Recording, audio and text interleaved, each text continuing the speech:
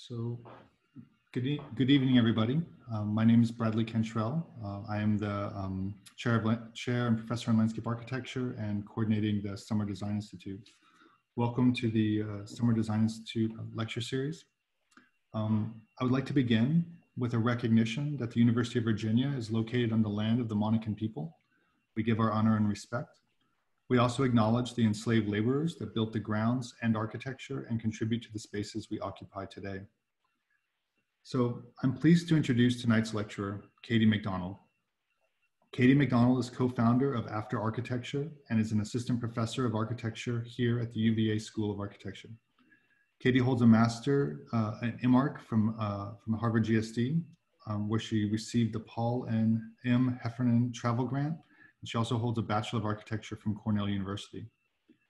Katie has been recognized as Next Progressive by Architect, Magazine, Emerging Designer in Virginia by Design Awards, and Curbed Young Gun by Curbed National.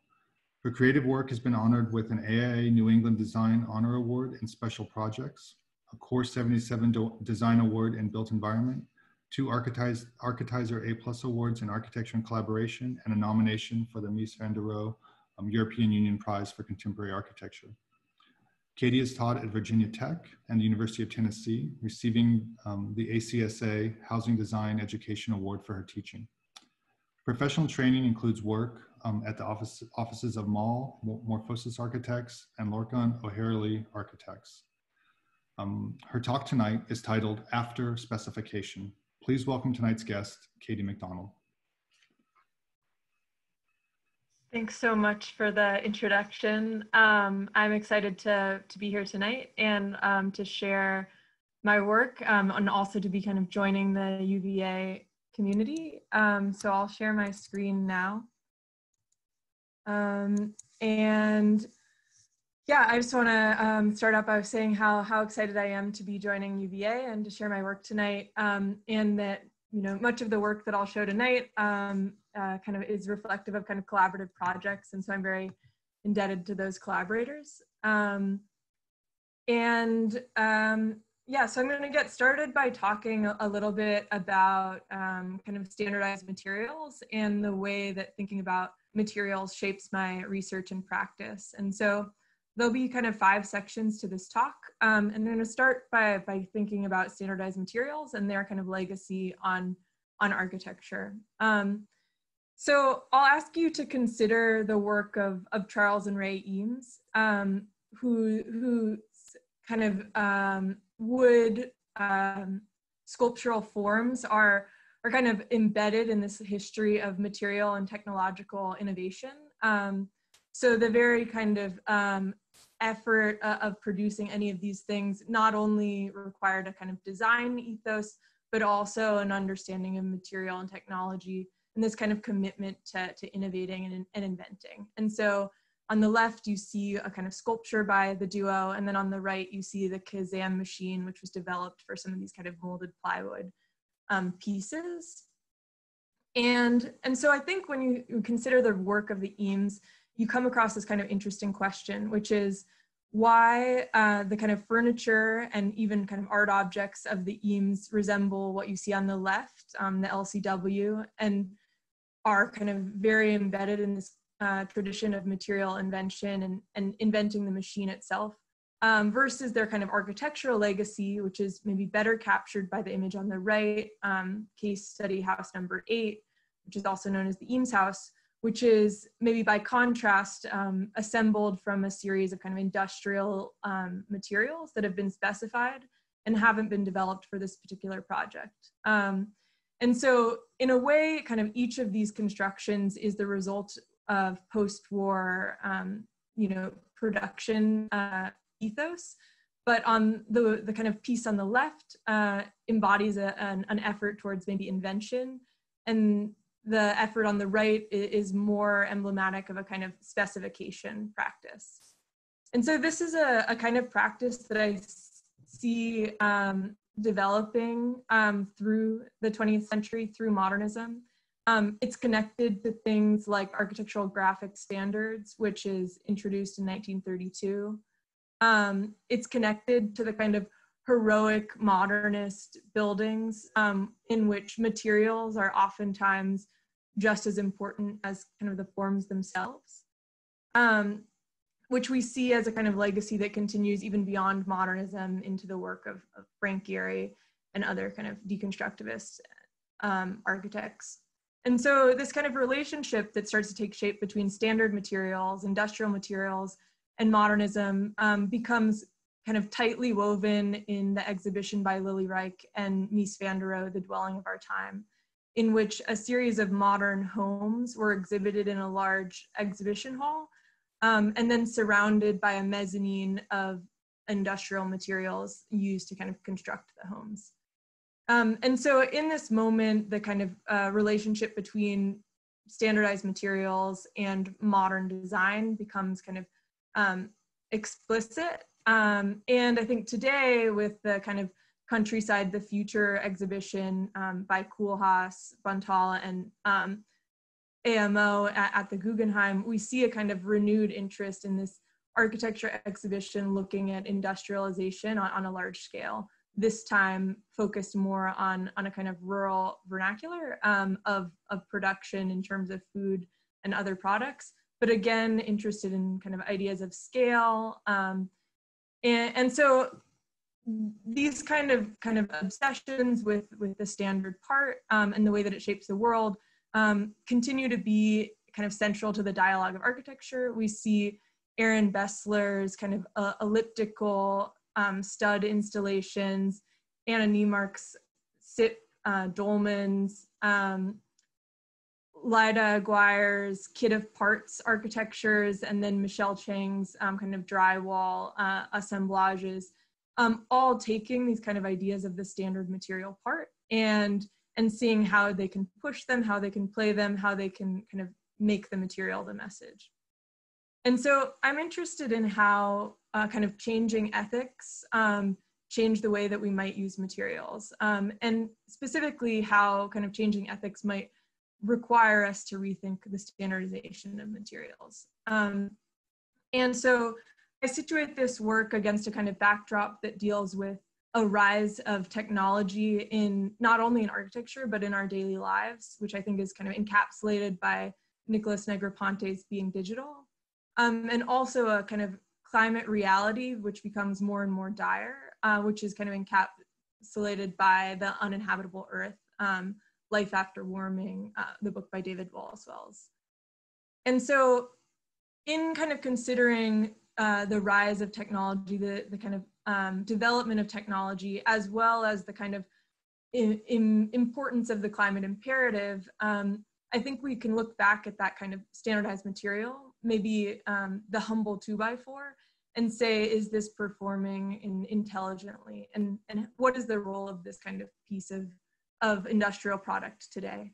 Um, when compared perhaps with maybe the more intelligent, um, structurally complex natural form of the tree. Um, and so I've been interested in, in how we kind of identify ordering systems in natural materials um, in the work of land artists like Andy Goldsworthy. Um, and also how kind of relationships with nature have been constructed in architecture um, through kind of biomorphic, biomimetic, um, and kind of morphological tendencies. Um, and so I'm interested in constructing a kind of new relationship between these systems in which authorship is shared between designer, technology, and biology. And for the kind of purposes of this talk, I'll, I'll call that kind of framework bioagency. And so bioagency distinguishes itself from biomimicry and morphology um, by using technology to instrumentalize the embodied intelligence of rapidly renewable biomaterials. Um, whereas the kind of biomimicry is more concerned with the design of material structures and systems that are modeled on biological entities and processes and then the morph morphological um, is more interested in the kind of study of forms of living organisms. Um, and so I've kind of mapped some practices that I think are working in these, these various realms. And I think on one extreme, the morphological is more interested in visualization and form, whereas perhaps the kind of uh, biological agency, which I referred to, is more interested in materials and processes. And so much of what we'll look at today is, is dealing in that realm. Um, and specifically in, in terms of thinking about how materials can start to be authors. Again, kind of adding to that dialogue between the authorship of, of materials, of, of designer, of biology and technology. Um, and so as a kind of example, um, I'll ask you to look at kind of digital fabrication practices. Um, so digital fabrication um, in the kind of wake of the digital turn uh, was interested in kind of complex form generated by subtraction through standard materials. Um, that kind of irregular form that results on the top right um, is coming from a very standard material on the top left. And so some of the work that I see happening now and that I'm uh, engaging with is looking at how instead we can take materials which are not regular, um, which are compl complex in form and in effect also have kind of complex structural intelligence um, as well as other intelligences. Um, and how technology such as kind of 3d scanning and other modes uh, of kind of data capture allow us to harness that intelligence in turn producing kind of opportunistic form. Um, and so that kind of example of, of traditional digital fabrication can be seen in these two projects. Um, the one on the left in which kind of CNC milling allows the kind of replication of a, of a standard architecture. The one on the right in which a very complex form is generated, but through the reduction of that standard plywood sheet. Um, versus maybe some of the work that we see today coming out of places like AA Hooke Park, where um, technology is being used to understand complex forms. In the case of this project, the, the fork of a tree, um, and then to use that kind of series of tree forks intelligently within a design structure where both the kind of designer and that material input of the tree fork have a kind of input on the final form. So I, am interested in how we extend this, how we push the material to have more of an impact on the form. Um, and so I've developed this research uh, related to bamboo and how we might apply this kind of logic to bamboo um, bamboo historically has been limited because of its irregular form, um, because of its size and, and its, uh, you know, difficulty in becoming a, a kind of standard piece. Um, nonetheless, it's rapidly renewable. It has kind of incredible structural qualities. And so the, the kind of promise of technology to unlock some of that, that intelligence um, and that strength is very exciting. And so in this project, um, working with a, a team of, of, other scholars, including Kyle Schumann and Jonas Hopman, we developed a way to scan a, a, a bamboo pole essentially by taking a series of um, you know 2D images and then mapping them together um, using a kind of custom workflow in Grasshopper. And the kind of result of this, this ability to capture the data about each bamboo pole um, is that we can reconcile that kind of precise irregular part with uh, a design um, design form. And so our design intention can be altered based on the input of the form. And so on the top, you see a kind of idealized triangulated form and how that might start to be adopted to material supplies with various kind of characteristics. We're using a bunch of shorter bamboo poles um, we're going to get a different effect than if we use kind of longer um, poles. And so the, the geometry of the pole starts to become an actor within the design process. And so a project like this also develop, uh, involves the development of, of kind of joints and nodes which can deal with a flexible system. Um, and so this is a kind of project that's still in development and, and will be exhibited in the coming year.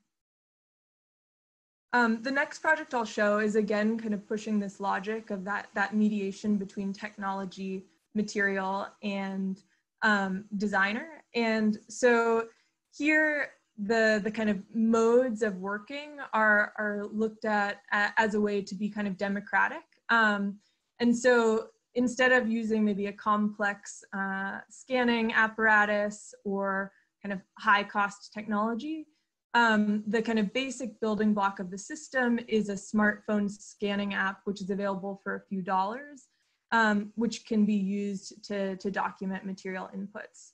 So in the case of this project, this kind of um, user-friendly, cheap uh, iPhone app is, is, being used to scan a series of branches. Um, and then the branches are being analyzed um, computationally for a kind of variety of qualities. Um, and, and by kind of performing this series of analysis, we're able to extract certain data from the branch that can become useful to us in the design process.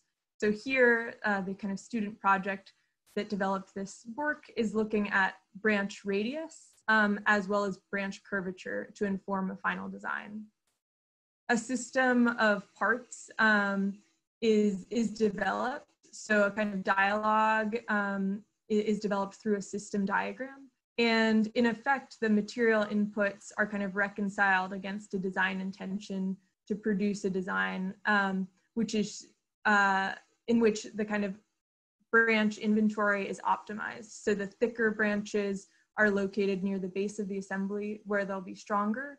And then the curved uh, branches are located at various parts of the assembly where the geometry is more curved versus more straight. Um, so here you see a kind of final installation uh, from that workflow um, where again, you see those thick branches at the bottom and the thin branches on top. Um, so this work has also been developed uh, with other materials um, as a kind of testing. Um, and so in, in this kind of sequence of images, you see a variety of kind of digital inventories being made of, of often natural material streams, and then various kind of aggregation methods being tested. Um, so the kind of idea that scanning technology might allow us to create kind of digital doppelganger of a real material um, that we might develop the kind of intelligence to use that complex material computationally and then that that might translate back into the physical world. Um, and so these are kind of a series of quick tests which uh, experiment with various aggregating methods, packing, tensile spring simulation, um, etc. And so here you see a kind of uh, series of images which describe one of those um, attempts in more detail from that kind of uh, rendered inventory all the way to the kind of final aggregation, which mimics the, the digital um, assembly. And so the, this work, um, I think, is aided by a kind of interest in procedural authorship. And I think we can learn about procedural authorship from a long history of art practice. Um, this includes Fluxus art, in which authorship was often shared between many parties um, and kind of sequences of activities were orchestrated um, and, and, performed by many. Um, we see kind of procedural authorship in the work of Allan Wexler. Um, in this piece, he's taking a curved tree, um, operating on it through kind of collage um, in order to straighten it. So he kind of creates a series of subtractions in order to straighten it. And then in back in the physical world, he inserts these wedges um, to translate that original curved log into a straight log. And so there's this kind of idea of operating on, on the complex form, um, both through drawing and through physical manipulation, which I think is useful to these kind of modes of working that I'm describing.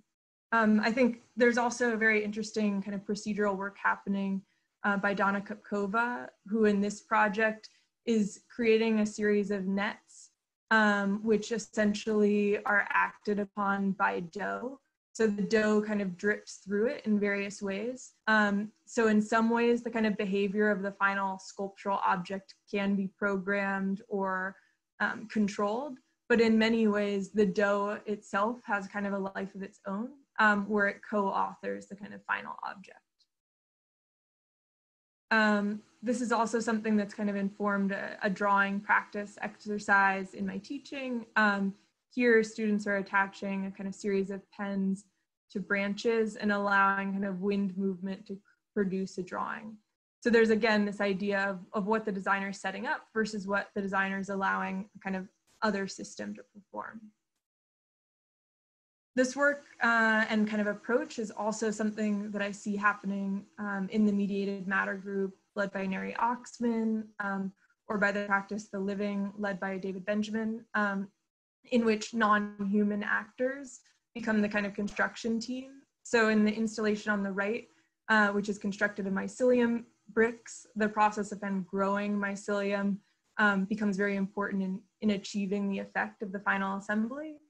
And then in the image on the left, Neri Oxman's silk pavilion um, sets up a kind of scaffolding for silkworms um, to produce their, their, to spin their thread on, um, but then allows them to, to really start to author some of the kind of porosity, density, um, and visual effect of, of the creation. Um, and so again, these kinds of themes are, are something that I've been exploring through teaching um, in, in a class taught with Kyle Schumann, my partner in after architecture.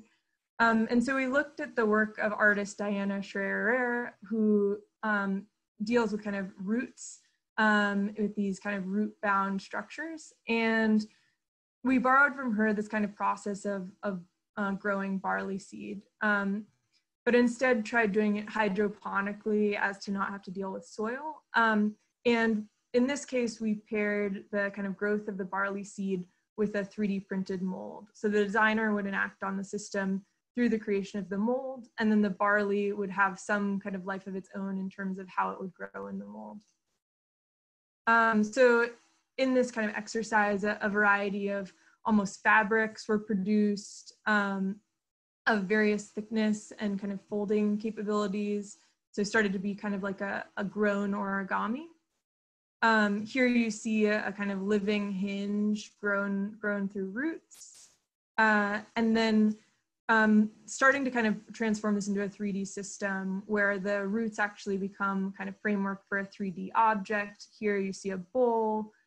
Um, and so this kind of idea of the, the author um, collaborating with uh, the designer collaborating with the, the another species as co-author is seen again in this caterpillar catenary project, um, which maybe like the silk pavilion is interested in, in how um, kind of caterpillars or silkworms produce silk. Um, but in this case, the, the tent caterpillar is known for producing a kind of um, tent made of silk uh, along a, a, kind of branch um, fork. So here you see a, a, a normal fork uh, with a tent caterpillar nest on it um, as a kind of example. And in this project, what we're trying to do is kind of control the behavior of the, the tent caterpillar. And so in order to scaffold this project, we looked at, at LeWitt's variations uh, of incomplete open cubes, um, which produces a kind of matrix of um, corners um, in which the space of a cube is suggested, um, though often not fully wrought. And we produced a series of simulations um, using a kind of shrink wrap script in Grasshopper to, to kind of suggest how the tent caterpillars might build on these scaffolding. So we could produce a simulation and then kind of test that through allowing the tent caterpillar to inhabit and build uh, on the structure. And um, what we found was that the, the tent caterpillar was actually quite difficult to control. The simulations varied wildly from the actual behavior of the tent caterpillar. Um, but that some of the kind of qualities of the tent caterpillar could become really fruitful, particularly the layering of the tent um, in terms of making a, a kind of final uh, object. Um, and so here you see the kind of multiple layers of, of the tent on the scaffold, which then create a kind of filtered lighting effect, um, maybe not unlike a Nelson lamp um, or other kind of stretched cloth uh, lamp assembly. We're also interested in how you scaffold the behavior of cocooning and egg laying. Um, and so these kind of series of objects um, were produced in order to house the, the cocoons. Um, creating a series of, of holes which might transform into other uses, the use of, for a clock or a, a light fixture, um, but would be kind of sized appropriately to hold a cocoon um, for the kind of caterpillar's life cycle. Um, and so in this way, there's a kind of dialogue going on between a design intention to produce perhaps like a household object and the the moth's um, you know life cycle and need to kind of recycle into becoming a caterpillar again, lay its eggs, etc. Um, so the last section that I'll show um, is related to this kind of idea of material cultures um, and in and in some ways uh, deals with some of the kind of issues raised about standardized materials, but in other ways um, deals maybe more readily with the kind of conventions of construction. So the first project that I'll show is a um, project that I completed in graduate school. Um, it was selected by competition and then realized with um, the faculty who are the principals of OFIS Arhitekti in Slovenia. Um, and so the project was looking at this network of mountaineering shelters um, that dot the, the Alps of Slovenia. Um, and these are kind of very important shelters because they provide just bare accommodations, basically just a roof above your head, no electricity or plumbing or anything like that, um, but a, a, kind of, uh, you know, place that one can stop along these beautiful mountains as they hike. And so it's really the infrastructure for this kind of national pastime um, and a, a, regional pastime really because the kind of country of Slovenia is quite young. So here pictured you see one of the first um, mountaineering shelters in the country, which was installed in 1895 and doesn't even have room to lie down. It's kind of standing room only. Um, and the kind of prompt for this project was to develop a mountaineering shelter in this network. Um, so the, the idea of, of kind of installing um, a project in this realm requires immediately the kind of considerations of construction, specifically how you're going to get the project to the site, um, as you can't pull up with a truck or a crane. And so in the case of this design, the module became really important um, as something that could be easily deployed to site um, by helicopter um, and then conjoined with other modules to form uh, a kind of larger whole. And so early in the process, the helicopter pilots um, who were part of the Slovenian army and also the had access to the heaviest weight helicopter in Slovenia became kind of key players at the design table. Um, and the kind of orchestration of the modules was very much informed by their kind of intelligence in how they might fly these things. And then on the image on the right, you see the kind of three modules of the shelter, um, a stack of, uh, of glass and a stack of kind of foundation materials, which constituted the five trips of the helicopter to site. Um, here you see the kind of first module arriving to site. Again, um, it's being transported by helicopter. Uh, a series, like the kind of construction team has just kind of completed hiking up um, the mountains to arrive and, and to secure this uh, module. And so the entire kind of act of production is this kind of intense um, off, off-grid experience. And here the kind of material palette is shown to mimic the surrounding stone. The glass reinforced concrete panels um, are kind of installed as a rain screen and match the, the gray of the stone. And then the image on the right shows the way that the, the door accommodates kind of heavy snows by um, splitting into. The materiality of the interior is by contrast to kind of warm wood, um, which maybe transports the domestic to the top of this mountain. Um, its stepped profile in section allows for various surfaces to accommodate multiple functions. Um, so sometimes floors become seats um, or beds become tables. Um, every surface kind of uh, doubles in function. And then the screen provides kind of structural reinforcement and, and subtle privacy between bunks. And here's a kind of final image of that project on site.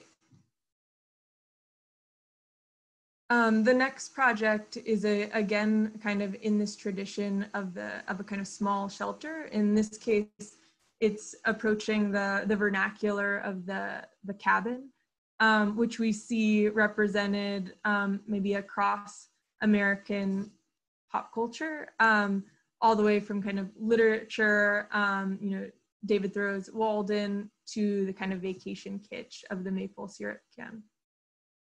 And so in this project, the, the elements of the cabin um, are identified and then hybridized into a kind of seamless wrapper. The porch, the stack of woods, the fireplace um, all become one system. Uh, a rain screen which holds wood um, embeds a porch and is kind of flanked around a central fireplace. Um, and this screen, which holds wood, allows for the project to have a kind of dynamic facade, which is constantly changing as wood is consumed um, or replenished. Um, and the kind of construction is designed to be very sensitive to the kind of local resources um, and you know deal with some of the kind of constraints of, of building um, in the forest. So here's a kind of a final rendering of the project on site, which was originally developed for a cabin competition in 2014, um, but is currently being realized in Vermont. Um, so here's some construction pictures from last summer and the project's quite a bit further along um, this year. Um, the next project that I'll show is a memorial um, located in Washington, DC. It's a memorial to a contraband camp, um, which is a typology um, that emerged during the Civil War, um, which was essentially a, a, kind of refugee camp for those escaping slavery, um, but was also, uh, you know, not a great institution. Um, those who inhabited the space continued to have limited rights. They were literally considered uh, captured enemy property or contraband. Um, and so this, this site, which is um, right near the capital, um, has a very important leg legacy in the area. Um, for one, spawning the kind of um, rich African-American community around it, um, but uh, also as, as, being a part of this network of camps, which are largely kind of uh, unmarked today. And so um, the current site where the contraband camp was located um, is an elementary school, um, which occupies kind of three sides um, of a city block um, with one corner kind of eroded for a church and an apartment building. Um, and so the project uh, sought to illuminate this history, and it also sought to maybe critique a kind of tradition of Civil War monuments um, which I think we're all quite familiar with in Charlottesville and in Virginia in general, um, and maybe see a renewed kind of conversation today. Um, so in particular, we are interested in how the memorial would A, kind of um, identify and mark this history, and B, function in a different way than the traditional memorial as object, kind of monument, um, instead relocating the memorial to the kind of edge of the urban fabric um, where it would become part of everyone's daily life, whether they entered the site or not. Um, and so kind of by contrast, the nearby Logan Circle has an equestrian clad um, Civil War uh, sculpture um, and the Camp Barker Memorial on the right um, is located on three sides of the site um, with a series of, of different geometries of portals, um, which allow all visitors to the site and kind of public park to pass through. Um, the specific kind of material of the project responds to a context of kind of white marble structures, um, the type of structures that, that we see the renewed interest of the president um, today. Um, and in contrast to that kind of history uh, uh, of classical architecture um, and, and what it symbolizes, the project takes on a different material palette. Um, a charred wood um, recalls kind of strength through hardship. Um, it's a material which is resilient, UV resistant, rot resistant, bug resistant, um, despite the process that it's gone through. And so it becomes a kind of metaphor for the great pain suffered by those um, who took shelter at the camp. And then the brass liner inside um, becomes a way to kind of address the future, to allow people to see themselves in relationship to the history, to provide warmth um, within this kind of uh, undulating uh, wrapper. The portals also include a relief sculpture by Vinnie Bagwell, um, who's an artist known for her narrative depictions of African American history. And so she created these beautiful blackened bronze relief sculptures, um, and a different one is on each portal. Um, and they convey some of the kind of history of the site and uh, related history of the time in order to kind of, kind of connect the contraband camp to a larger African American history. Um, so here you see the kind of final portals on site. Um, the scale and geometries are designed to engage um, the school children who spend so much time on the site and also to wel welcome people to the public park um, while acknowledging the important history. Um, here you see some, some children kind of taking residence inside the structure um, and then a, a, kind of final image of one of those reliefs integrated into um, one of the single portals. Um, so I have just two more projects to wrap this up. Um, the first that I'll show it was installed at the Oslo Triennale last October. Um, the Triennale's theme was enough, the architecture of degrowth. Um, and it was really speculating on what architecture would be outside of systems of capitalism or systems of infinite growth, which is maybe a kind of question that sees renewed interest in a time when economic growth is very difficult um, due to the kind of context of the pandemic. Um, but the installation responded to a kind of history of biennales and triennales in which um, substantial kind of cost, effort, um, and time is, allocated into these temporary pavilions, which are uh, installed in kind of materially intensive, intensive ways on site, um, and then destroyed and, and, sent to landfills in the end. Um, and this project uh, kind of advocates for a different way to transport and exhibit architecture. Um, it constructs uh, a series of pseudo masonry arches out of a red fabric. Um, these kind of brick modules are thermoset into the fabric, um, giving the fabric a kind of structure when it is unfolded, um, but also allowing for the fabric to squeeze very tightly into a carry-on suitcase um, and be unfolded without wrinkling. Um, and so the, the kind of final incarnation of the project on site shows this uh, vernacular of the brick and the red, um, which we associate with kind of thickness and permanence, transformed into something light, airy, and transportable, um, and deployable in kind of various configurations and various sites. Um, so the last project I'll share today, I think um, maybe circles us back to some of the kind of initial arguments.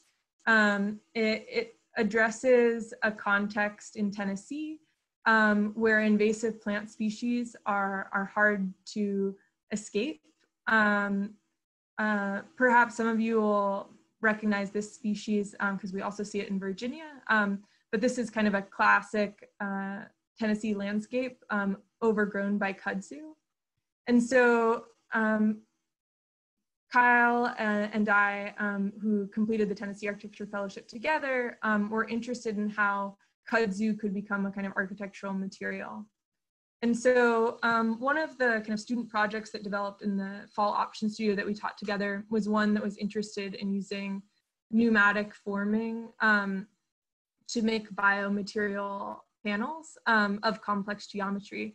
And some of the kind of ideas behind using pneumatics were that you could create complex geometries um, and many variations of mold without, uh, you know, kind of creating a bunch of waste, uh, creating a bunch of foam molds that would only be used once. You know, what if the system could instead just be controlled computationally and could reform um, many, many times? And so building off of this kind of logic, um, the, the kind of panels that could be produced could be complex in form. Um, they could be kind of complex in material. The geometries could be accommodated to, to whatever the material input was based on its structural capacities. Um, and so we were interested in how this kind of idea of maybe a kind of furniture made of bio uh, materials, in this case bamboo, scales to the size of, of a building. Um, and so this is a, a project that we're currently um, developing and building and will be installed at the Knoxville Museum of Art in October. Um, it, it, was meant to be installed uh, earlier, but of course COVID-19 um, threw some of those plans to the wind. Um, but we're interested in, in how we engage that kind of tradition of the standardized materials. Um, so you see the form on the left, which is kind of quite flat, which is um, reminiscent of the kind of panelized construction that we're familiar with. And, and then we contrast that with the image on the right, which is a topological structural optimization of that form. So basically it's taking that form and saying, where does material need to be in order to structure this thing? Um, what if we start to erode the panels and instead have a kind of complex uh, form which varies in thickness and material is only used where it has to be used. And so um, going off of that kind of premise, we've been developing a kind of biomaterial composite panels, which again read kind of flat and panelized on the exterior, but then in the interior reveal a kind of more complex form, which is shaped by the structural needs of the assembly. Um, and so even the kind of windows and apertures which make a space habitable um, end up becoming the kind of remnants of the structural uh, requirements rather than maybe kind of willfully deployed. Um, and so here you see a, a, simulation of that interior geometry, um, where again, the exterior uh, skin is flat and panelized, but the interior wrapper becomes much more sculpted based on the structural needs of the assembly. Um, in order to kind of represent and study the material effects of this project, we developed a series of kind of um, root uh, representations. And so here you see an, an elevation um, that was grown out, out of barley roots.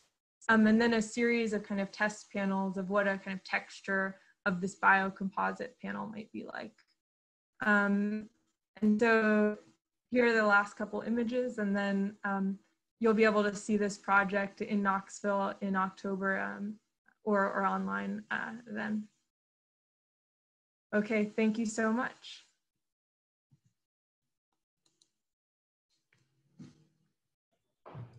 Thank you, Katie. It was great. It's great to see all the work and um, great to see your kind of take um, take on um, particularly these issues around um, um, biomaterials. Um, we can open up for some questions. Do people have questions for um, for Katie?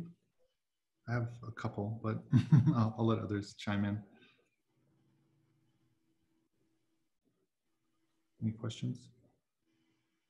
Maybe maybe I can start then, and then we, we typically um, get the ball rolling. I, the one the one question, and I think one one thing you lay out really nicely is the difference between the work you're doing and kind of um, ideas around um, um, biomimicry, particularly.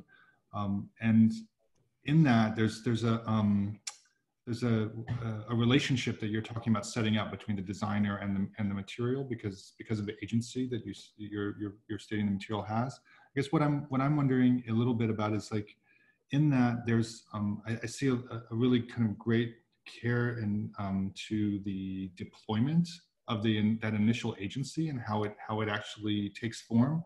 And i'm wondering about this kind of what what you might be thinking about in terms of like a longer term relationship between the designer the material that might go beyond that initial deployment. And if that's some like if the, that thought process is going into the work moving forward or or how it might be going into it at this at this point. I, I think that's that's a really great question. Um, right like that that may be that these systems aren't only part of the construction, but they're part of the life cycle, right? Um, that, the, that they continue to have a life uh, beyond, you know, the opening date of the project, and much the perspective of a landscape architect, um, uh, whose work, of course, gets better as the plants grow in.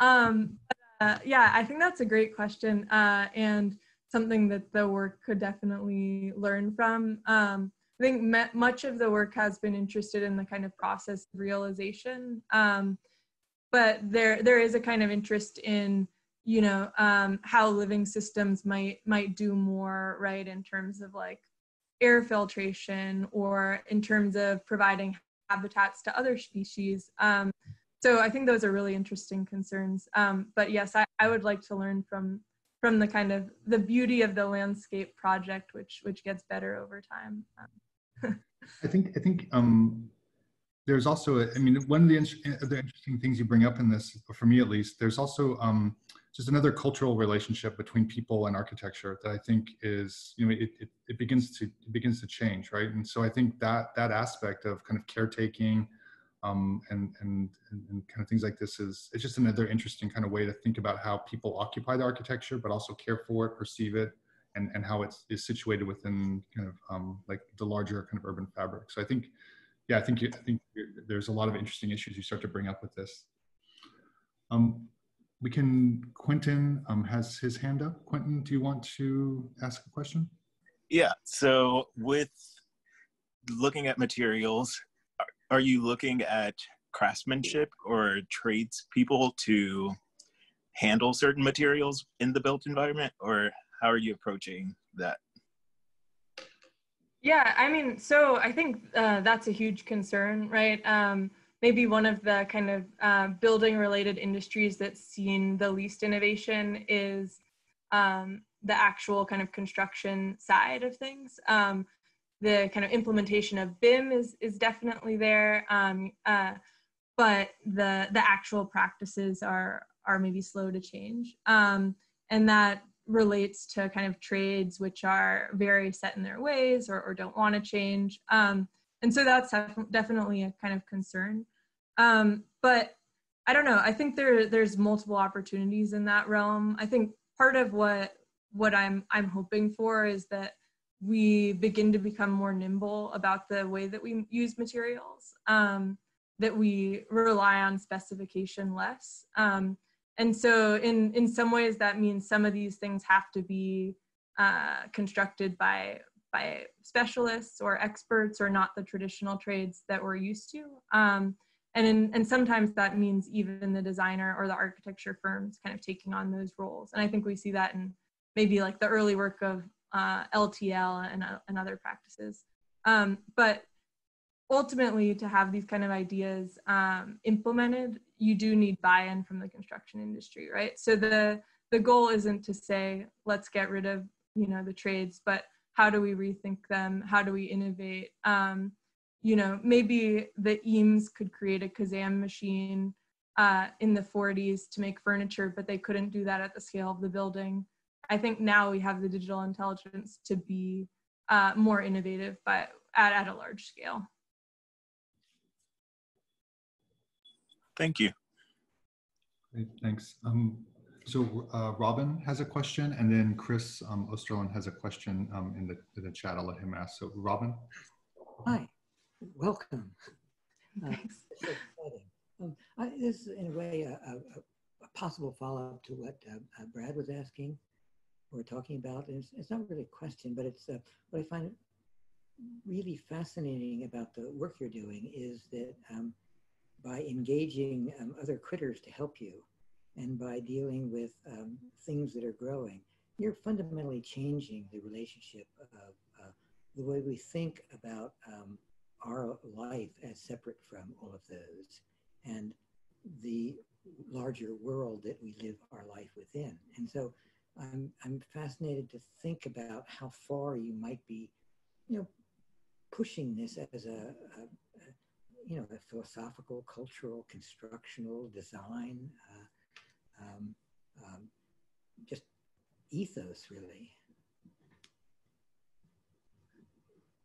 Yeah, I mean, I, I think that's exactly, um, I think that's exactly what I'm trying to get at. So I think that's really well put. Um, you know, the idea that that somehow what we do could be better aligned with other systems that we might not think of ourselves as being so dominant or so hierarchically important, but that we might do things that uh, are to the benefit of both or in the interest of, of multiple systems. Um, so yeah, I think that's a really important, uh, important kind of aspect of it. And of course it, it's in a way very radical, right? Because it set, it changes our relationship uh, with everything. Um, but I, it seems like a kind of imperative in order to deal with um, the climate imperative, but also all the kind of social and cultural um, issues that are related um, to, to those kind of embedded hierarchies.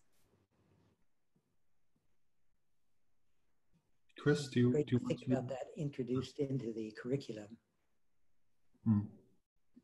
Sounds great.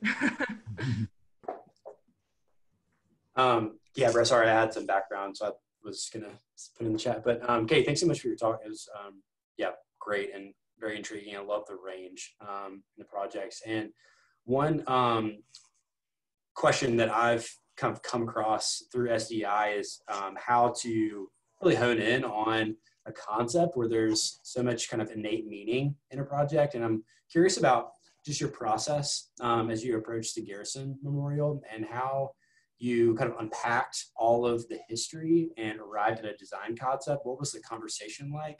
Um, how did you go through iterations and finally arrive at the, the, design concept that you chose? Sure. Yeah, I think that that's a great question. Um, you know, uh, what's interesting about a project, uh, you know, a project that serves a client, right, versus a research project is there's um, as soon as you get to the table, there's kind of already things you have to deal with, and so um, part of the kind of challenge with that project was kind of a initially receiving the brief and realizing that um, maybe what the kind of client wanted, which was you know an arts organization organizing art for an elementary school, um, wasn't something heavy, right? Um, but was something that would be kind of welcoming for school children. Um, and so it was uh, kind of a, a, a, maybe a difficult move or a big move to say, well, actually, I think it's really important that we look at the history of the site, right? And that we, you know, uh, correct the wrong of this kind of erasure, right? There's kind of there's no trace of of that history on the site. Um, but for us, in terms of doing the project, that was what was going to make it important and meaningful and worth doing, um, not maybe just putting up something that would be nice for kids. So um, in that process, we dealt with the history. We had to learn about the history of the site. We had to try to gather information on the history of the site, which was limited. Um, we had to start to think about who who who's being served, um, especially because the region or the area um, is has been a historically really strong, culturally rich African American community, um, and it's already facing kind of problems of gentrification and the erasure of that community um, as kind of rents in DC rise. Um, so all these kind of factors uh, at play um, kind of came into the project, but ultimately um, we kind of made a decision to pursue this history of, of the memorial, of, of remembering the camp, um, and then to try to speak to that in a way that was uh, that could be abstract but also quite potent. And I think the material language for us has, has always maybe been that vehicle. How do you use the material to kind of uh, elicit, affect, uh, you know, create an emotional response, um, and then allow the kind of viewer to dig deeper.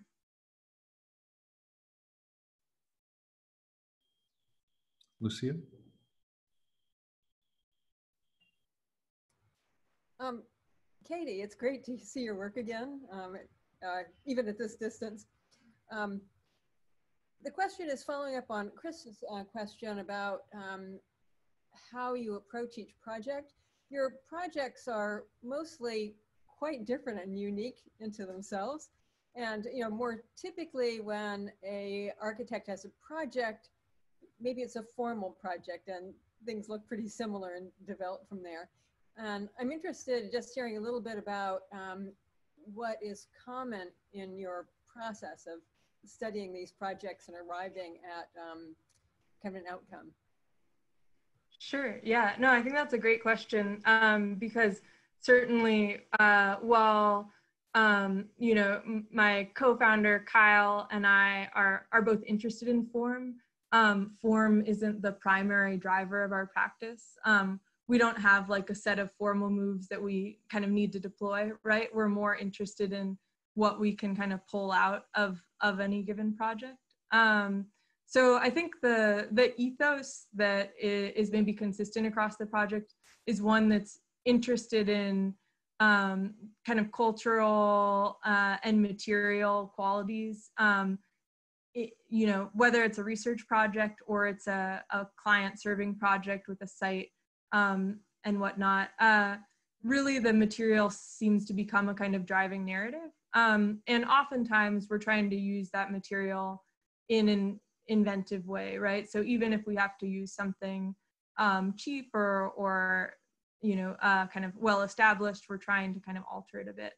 Um, so I would say, yeah, some of the binding interests across the work are really material in nature, um, but they're also maybe narrative in nature. Um, and we love form, but we're not attached to a certain set of them.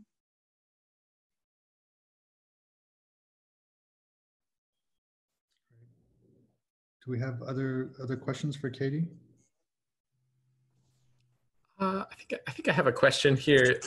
I'm trying to figure out what it is, but uh, when you were talking about um, this idea of, of of working with standardless materials in intelligent ways, I mean, I was thinking a lot about landscape architecture because that's what I study, and how um, you know every site is kind of this, uh, in some ways, standardless ground, you know, that that you shape. Um, and how you how you kind of come to know that material like really affects and how you abstract that material like really affects kind of how you design with it um, and i like i was really interested in the bamboo project but i think part of me was just thinking like like is it like one more step that you don't need like to to see it very computationally like with the the precision of the computer and i i wonder if I, I think it was a really cool project and like almost a cool like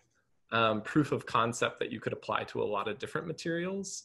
Um, but I wonder if you think about that in your practice much about like when sort of a computational method or like sensing method is necessary or when it's sort of like one more thing that sort of like, I don't know, adds another step. Yeah, no, I mean, I think that's a great uh, question. Um, you know, it, it, in, in a way, it's like about editing, right? Like, how do you edit things out?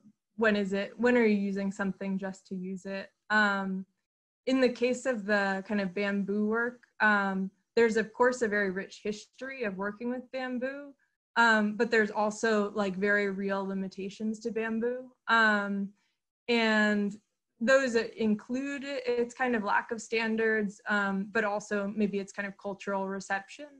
Um, and so I think another kind of component to the the bamboo project, which maybe doesn't come up in this talk or um, is, is separate, is the idea of, well, how can we transform the reading of bamboo to see if we can make a kind of, um, you know, an audience receptive to it? How can we disassociate it with tiki huts and, and Gilligan's Island, right? Which no one should have to do in a way because, um, you know, those are kind of unfortunate cultural realities. Um, but I, I, think the technology in, initially came in as a way to kind of transform that and then really became a way to say, oh, actually, we can use this in, in much more intelligent ways. Um, so I would say not every project maybe demands technology, but sometimes you can have a kind of good reason for it.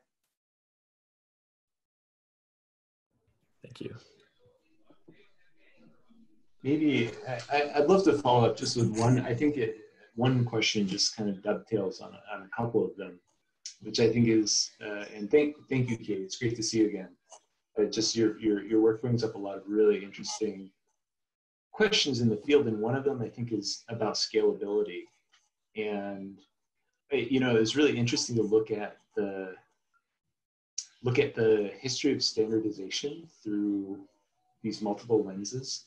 And I also think like a parallel lens to that that I was thinking about is like, you know, the ASTM and, you know, the engineers, you know, and the standardization of materials for liability and structural safety and things like that. And I, and I sort of think that, I mean, you could kind of go down a rabbit hole in thinking about it that way, but I guess the question would be, you know, in terms of the work and in terms of what is achievable for the architect in this situation is it, it do you do you see the role as as like providing a proof of concept of the kind of formal and the, the kind of quality of spaces that should that can and should be thought about in terms of using materials like bamboo or these, these other materials? Or is it about uh, proof of concept that it can somehow one day maybe begin to replace some of these other types of standardized materials and, and flows and processes and things like that. Yeah i mean i, I think it's a good question. So um, I would say that the the kind of goals of the projects maybe have have maybe there's like kind of two central goals of the research projects and one is maybe to kind of prove out a, a system um, right um, to develop a workflow and and to prove it out.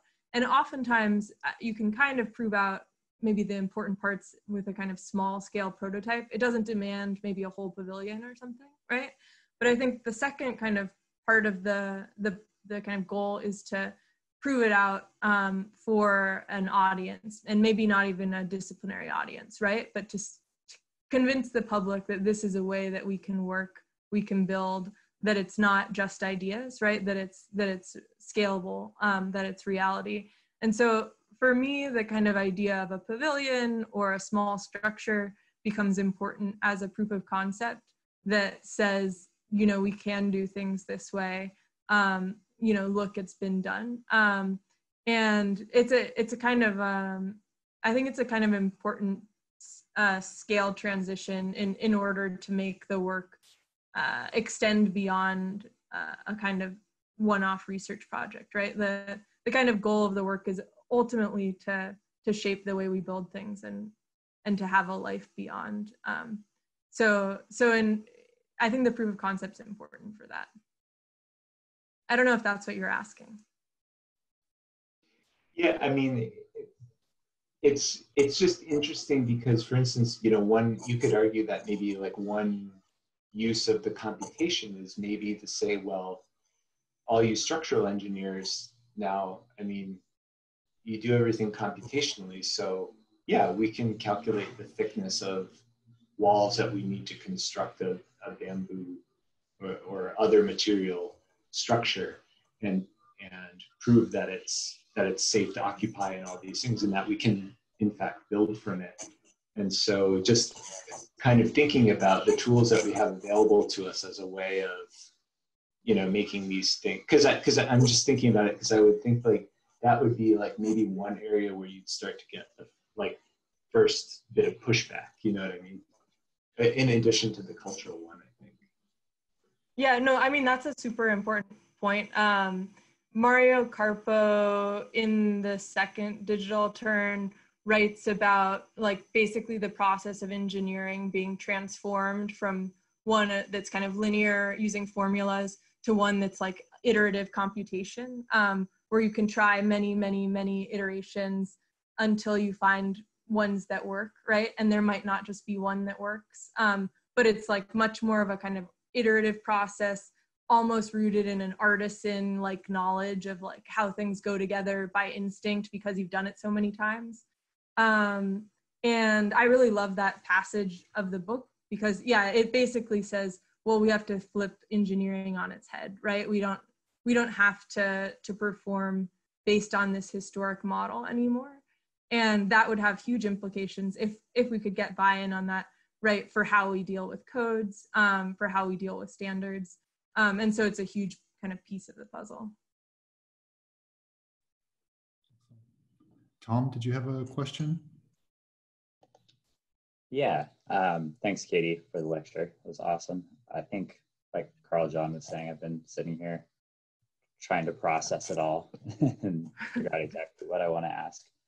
Um, but I'm thinking about how you're talking about uh, how we build better aligning with systems and the work that you did for the Oslo Triennial and how there's sort of an impermanent quality to that architecture and wondering if you could speak a bit more about how you see that sort of impermanent mobile architecture maybe playing out in a real world scenario.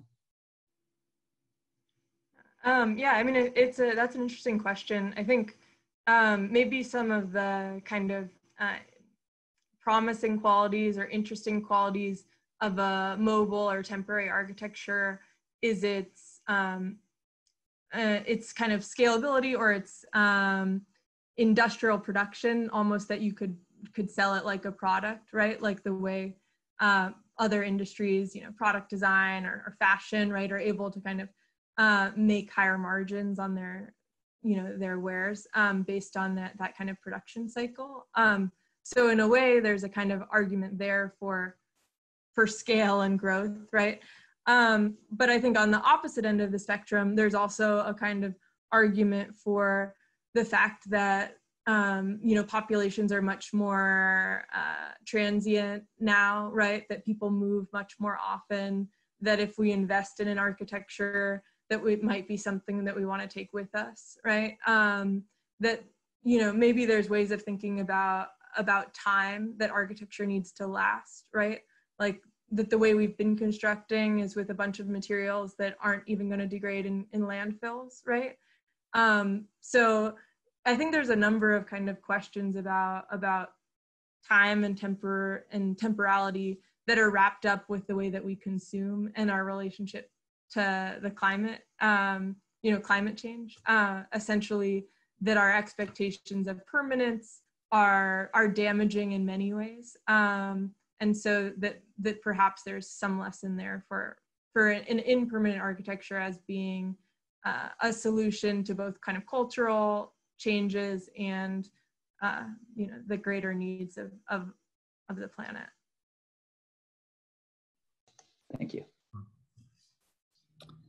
Um, Katie, thank you so much for the lecture. Thanks for taking the time to answer everyone's questions as well. We, we all appreciate it very much. It's great to it's great to have you here uh, for the SDI lecture series, and we're excited to have you here this fall. So, thank you. Uh, th this was great. Thanks so much for having me, and thanks for all your great questions. So, uh, looking forward to joining you all in Charlottesville. Great. All right. Thanks again. Thanks. Bye, everyone. Bye.